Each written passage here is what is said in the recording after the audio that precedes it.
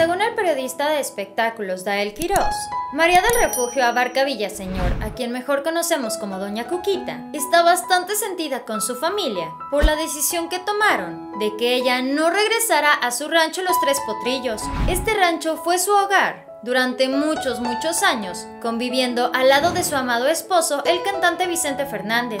La familia de Doña Cuquita afirma que el rancho, en estos momentos, tanto a nivel emocional como físicamente, puede ser un lugar donde pueden suceder cosas muy delicadas. A Doña Cuquita no solamente le haría mal ir al lugar, donde tiene más recuerdos con Vicente Fernández, sino que además este rancho está lleno de escalones y espacios que podrían poner en cualquier momento su vida en un hilito. Obviamente la señora Doña Cuquita ya es una mujer mayor, no puede andar del tingo al tango, aunque ella quiera. Dael Quiroz aseguró que ante la insistencia de su familia de que ella no regresara a su rancho, al menos por un buen tiempo, se dice que la esposa de Vicente Fernández les dijo que prefiere irse a un asilo y partir de este mundo en ese lugar pues está muy sentida por estas decisiones. Según varios medios de comunicación, ahorita Doña Cuquita se encuentra muy mal en el departamento que le rentaron, el cual está cerca del Hospital Country 2000 en Guadalajara. La familia Fernández la quería mantener en este departamento,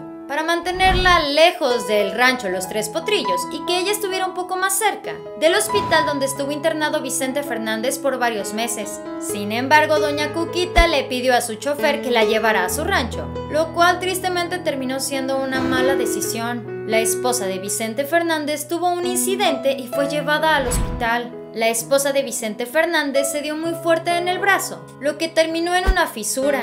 Para esto, los médicos le tuvieron que colocar una férula. Sin embargo, hasta este momento la familia Fernández no ha mencionado absolutamente nada acerca del estado de salud de doña Cuquita Abarca. A pesar de que Vicente Fernández partió de este mundo el pasado 12 de diciembre, la familia ha continuado con sus vidas, ya que se dice esa fue la decisión del cantante. Alejandro Fernández ha continuado con el legado del intérprete, pues a una semana de su pérdida ha continuado con su gira, llamada Hecho en México. Vicente Fernández siempre le enseñó a Alejandro un respeto y entrega por su trabajo, pero sobre todo por su público. En las últimas presentaciones y antes de que el intérprete partiera de este mundo, pudimos ver al conocido Potrillo muy mal en sus conciertos. En ocasiones, él empezaba a dar unas palabras acerca de su padre y no aguantaba las lágrimas. Precisamente en el homenaje que le dieron a Vicente Fernández para poder despedirlo, Alejandro se acercó al féretro junto con su mamá, mientras entonaba una preciosa canción.